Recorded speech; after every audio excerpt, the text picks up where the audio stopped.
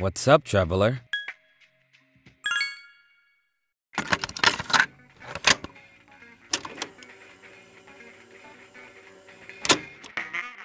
Just like everyone else, I've been waiting for Zenless Zone Zero for a while now. The first time I saw it, it captivated me instantly. Like this? This is right up my freaking alley. With their really cool character designs and the modern urban aesthetic they're going for, this is easily my favorite aesthetic in media in general. This game looks like a freaking vibe and I could not wait to play it. However, while I was very excited to play the game, I was also a bit worried. I was worried that this game wouldn't be able to deliver on something that's very important and crucial to me. I was worried that this game would repeat an issue that I had with another game that unfortunately made me not want to play it anymore. So when I finally got my hands on the game and played Zenless Zone Zero, I was so relieved and blown away. This game surpassed my expectations. Zenless basically gave me everything I wanted.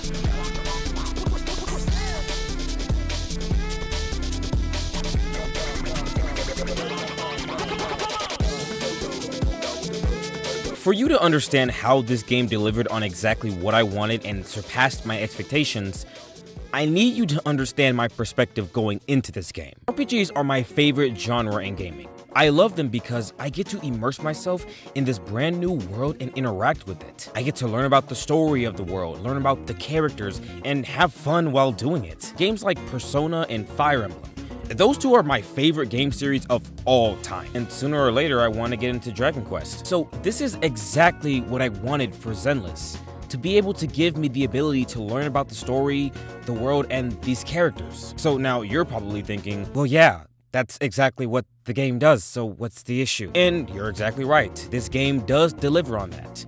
But the reason why I was so damn worried about this game not being able to fully deliver on that is because of my previous experience with Genshin Impact. Now, I love Genshin, I really do. I love the story, the lore, the characters. First time I played that game, it was so freaking amazing and gave me feelings of magic and whimsy while I was playing it. And my favorite part of Genshin was learning about this story, these characters, and the world. And for a long while, it was able to deliver on that until, at least in my experience, it wasn't able to anymore. Now, if the two issues I'm about to mention have been addressed and are now better, please let me know because I will be more than happy for what I'm about to say to age badly. In fact, I want what I'm about to say to age badly because I want to play Genshin again one day. My main two issues with Genshin were the fact that you couldn't replay any of the main story or any of the character stories and the progression system. Now, the first issue I've come to terms with, because in a way, it makes sense. Genshin is in the style of Breath of the Wild, this huge, ever-expanding world that you can explore. And I bet that it would be extremely hard to be able to make a mechanic that you can replay stories. I don't know, I'm not a game designer, so I really don't know how hard that would be to implement. And in Breath of the Wild, you can't replay story missions. But you could also argue that you don't need to bother replaying story missions in Breath of the Wild or Tears of the Kingdom, because once you beat the game, you can just replay the game. The same goes for a lot of other RPGs, including Persona and Fire Emblem. You can't replay missions in a lot of RPGs, and that makes sense. The issue is this. Genshin is an ever-expanding story that we probably won't see the end of for a very long time. And for the people that play the game a lot, they probably have the story fresh in their heads a lot of the time. But for those who haven't played the story, or for those who do play the game and want a refresher on the entire story, they have to go and look at archives on YouTube. They have to go look at retrospective videos and or walkthroughs of the game from years ago in order to relearn the story in detail. And again, I've come to terms with this. I love Genshin a lot, and I want to learn about the story and the characters because that's the entire reason why I even decided to play the game. But the second issue, which I hope isn't an issue no more, but if it is, this one I can't come to terms with. And it's the reason I stopped playing. This issue really just hurt my freaking feelings. Genshin's progression system felt nearly impossible. To progress in the story, you have to level up. You do this by completing different missions, dailies, and other tasks. And for a while, this worked for me, till it didn't. The last character story I remember doing was the one with Ayaka. I had so much fun learning about her character and getting re-immersed in the game. But after that, I couldn't keep going because the game wouldn't let me. It became incredibly difficult to progress and level up. Some of the missions simply weren't giving me enough experience points. Worst of all, the enemies kept getting harder and harder to beat. It was as if a massive wall had appeared that I couldn't get past. And behind it was the reason why I was playing the fucking game! And that just hurt my feelings. Really badly, genuinely. I was so conflicted because I wanted to keep playing. I wanted to keep learning about the story, the lore, and the characters through the game kinesthetically. Then eventually, I just gave up and decided to just experience the story visually, like an anime. And again, I'm okay with that. I can only pray that this issue has been fixed in Genshin so I can one day play it again. But this is why I was so terrified that Zenless Zone Zero was going to do the exact same thing and hurt my feelings all over again. But thank God. Thank freaking God. They did not do that. This game basically gave me everything I wanted. A game with a really interesting and immersive world, story, and characters. A game where it's actually pretty damn easy to progress, and I can replay the main story and the character stories whenever the fuck I want! I had worries, and the game addressed them.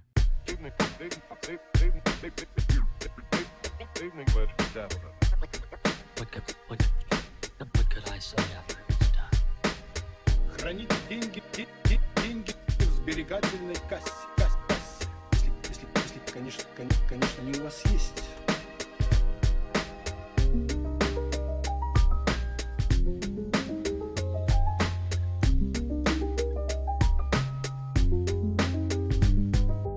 The progression system in Gen Genshin, wow. The progression system in Zenless Zone Zero is such a breath of fresh air. This game gives you a ton of ways to level up. Whether it be the main story, character stories, a boatload of side quests, spamming the VR chamber, and more. Leveling up in this game is genuinely fun as hell. Plus, even before you reach the point to get to the next chapter, they still give you extra story. Like, it's so freaking great, bro.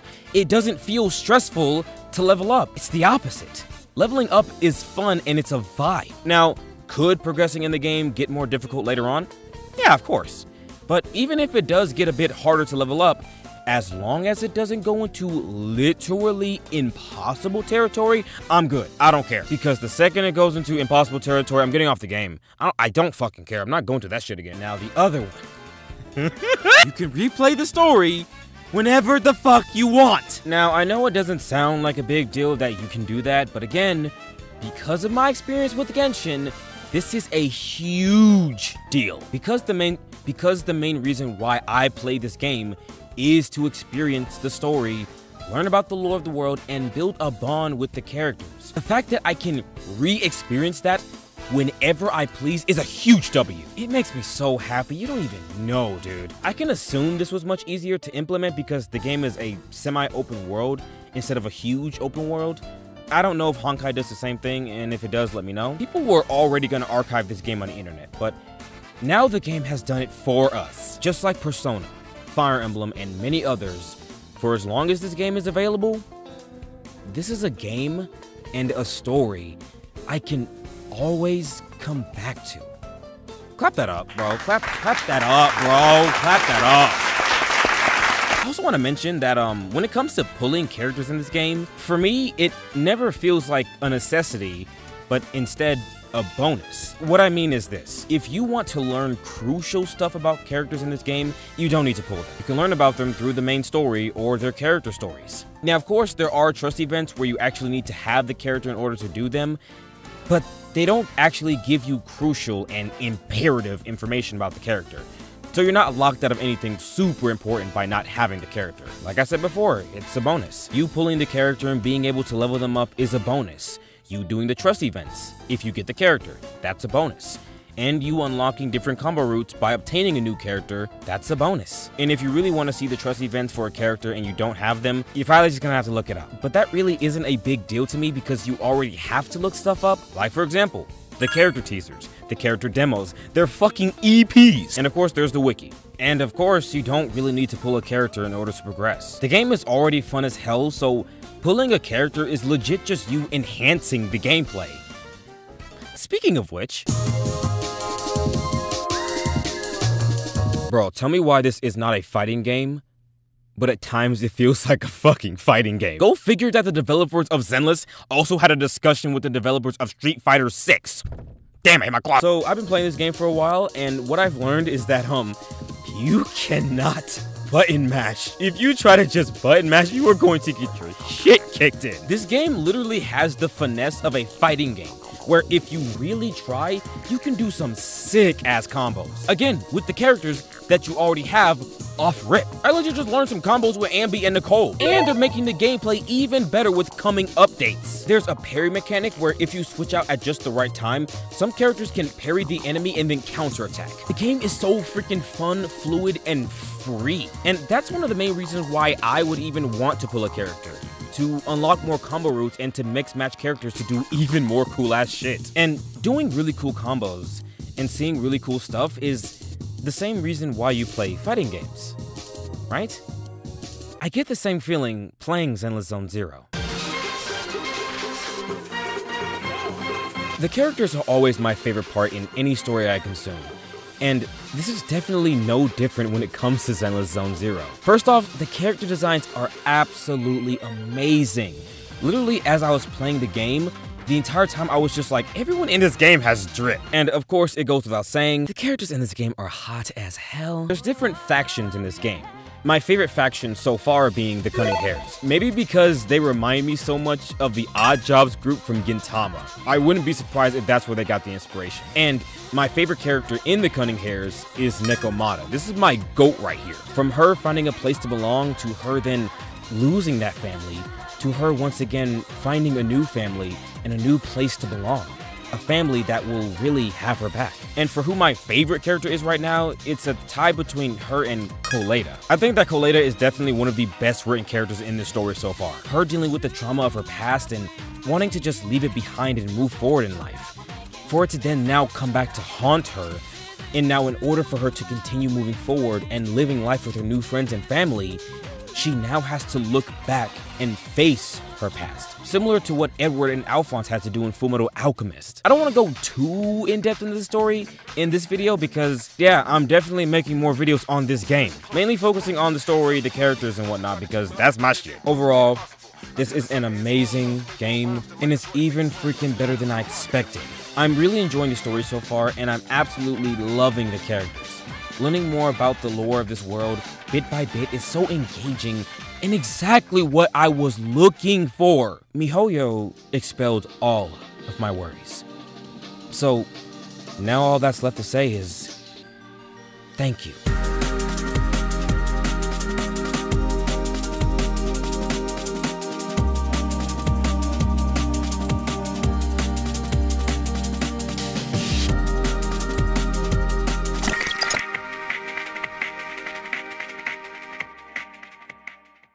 Traveler, we've got ourselves a sick ass game to play. I want to thank you for stopping by and hope you enjoyed your time here at this checkpoint. If you would like to support my passion and make this checkpoint your second home, you could do so by joining my Patreon for as little as $2. You get videos like this much earlier than they appear on YouTube, and you have your name at the end of every future video. There's other tiers and even better perks such as exclusive videos only seen on Patreon, the power to vote for future videos, and sneak peeks of upcoming projects. You can also become a channel member for $1 where you also have your name at the end of every future video and gain access to my exclusive emojis. I pour a lot of time and effort into these videos, and if you want to see them more often, then this would definitely help. But of course, just you stopping by and spending time with us is always a blessing. So thank you. Also, comment below who your favorite character in Zenless is so far. But with all that being said, have yourself a damn good one and safe travels.